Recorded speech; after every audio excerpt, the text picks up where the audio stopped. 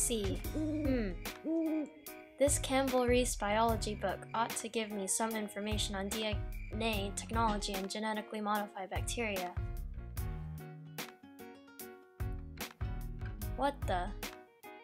Plasmids, recombinant organisms, DNA, polymerase chain reaction, gel electrophoresis.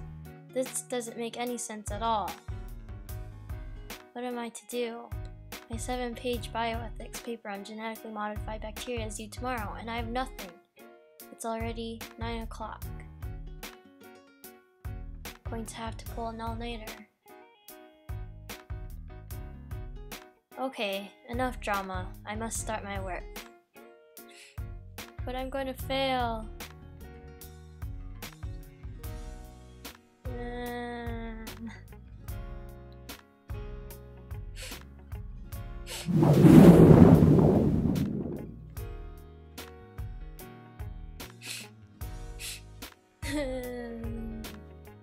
oh my gosh. Who are you? I am the guardian angel of biology, here to teach you about genetically modified bacteria. You see, it all started in the 1950s, when Watson and Crick were the first to present their double-stranded helix model of DNA, deoxyribonucleic acid. DNA is made up of nucleotides, each consisting of a phosphate, a deoxyribose, and a nitrogen base. Then, in 1973, Cohen and Boyer were the first to genetically engineer a transgenic organism, thus creating genetic engineering. It all started with a bacteria. The bacteria contains genetic material, plasmids, and ribosomes.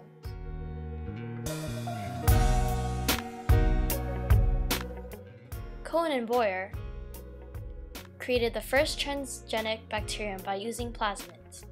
First, they isolated a plasmid from a bacterium and DNA from another cell containing the gene of interest.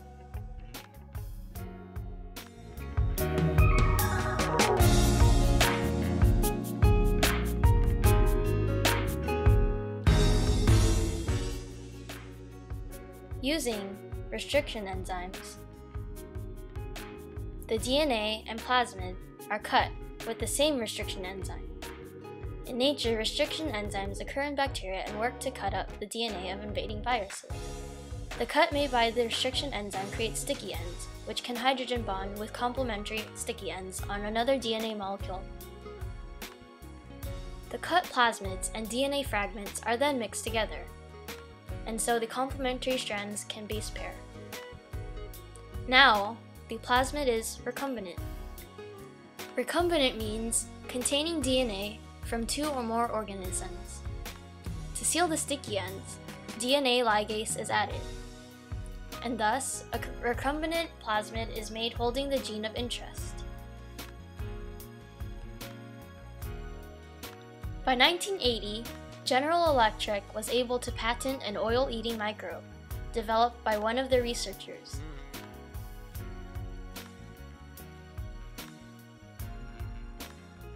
But is it even right to genetically modify bacteria for whatever reason?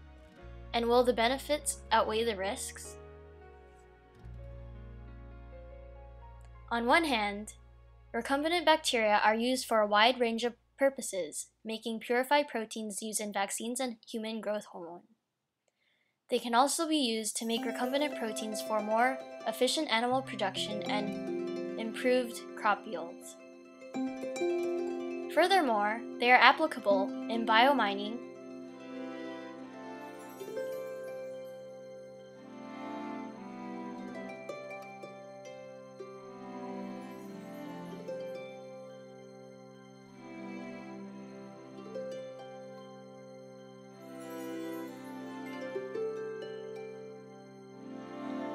alleviating environmental pollution,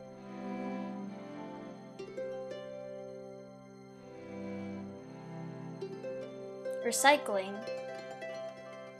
and degrading hazardous substances and pollutants. In China, for example, researchers have used genetically modified E. coli to filter out toxic pesticides from the air. Using the genetically engineered bacteria E. coli BL21, the researchers have demonstrated average removal efficiencies of almost 100%. Another example of what genetically modified bacteria are used for is biofuel. The bacteria E. coli has been genetically modified to produce higher chain alcohols. Higher chain alcohols can provide energy close to that of gasoline, do not corrode things like ethanol, and result in less knocking in engines. As well as helping the environment, genetically modified bacteria can help humans directly.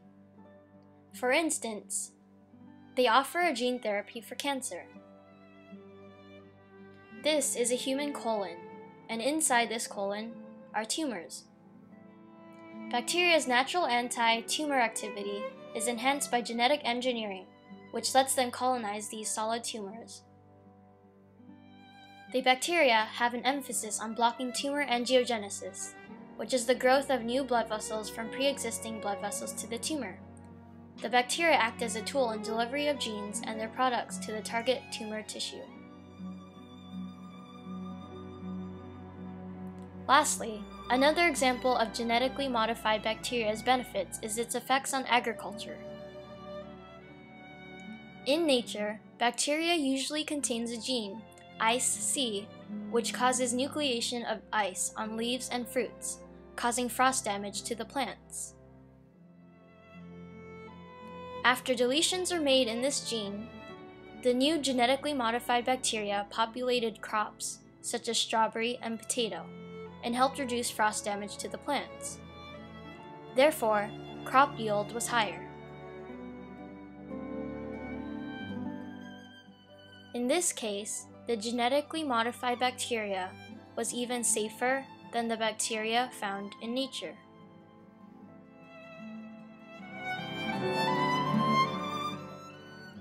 But Using genetically modified bacteria, like any other issue, comes with risks as well as benefits.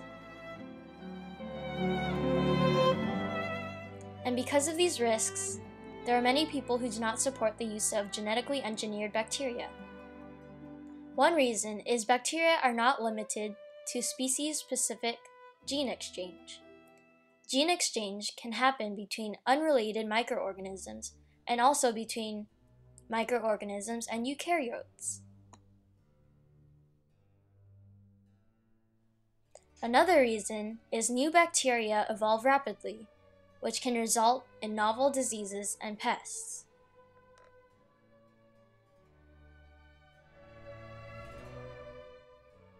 The genetically modified bacteria may displace natives, harm other species in the environment, and damage the ecosystems they are introduced to by leaving toxic residues or changing nutrient cycling. Bacteria can also never be exterminated if environmental or health problems become evident once released into the environment. Since bacteria are found everywhere, their repercussions can be substantial and irreversible.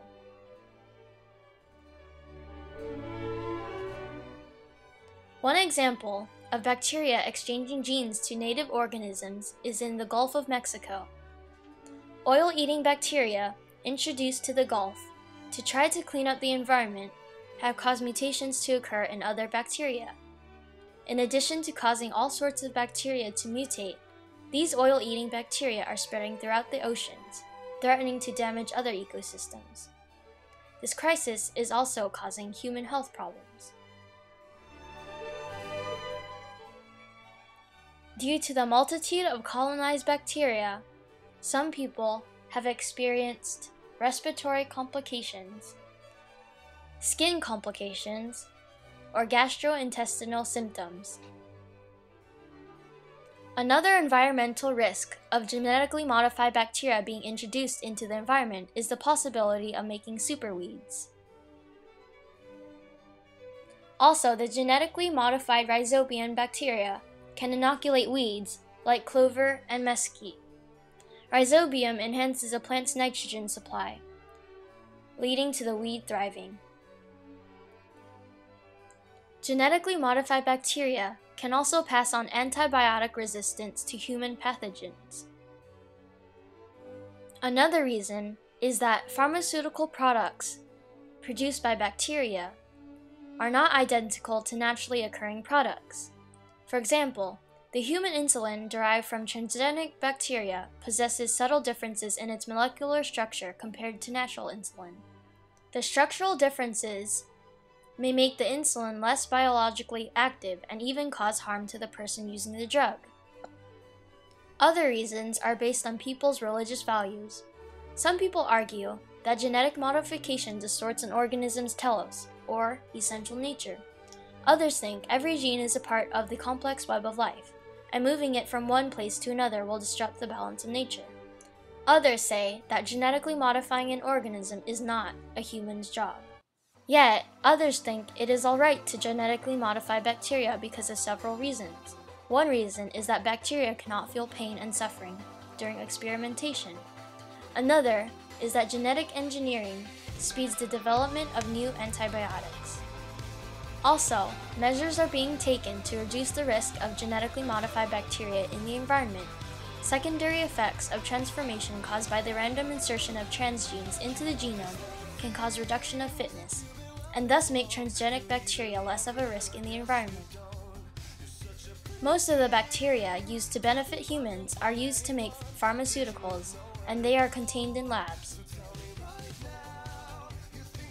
Because the benefits do outweigh the risks, it is right to genetically modify bacteria.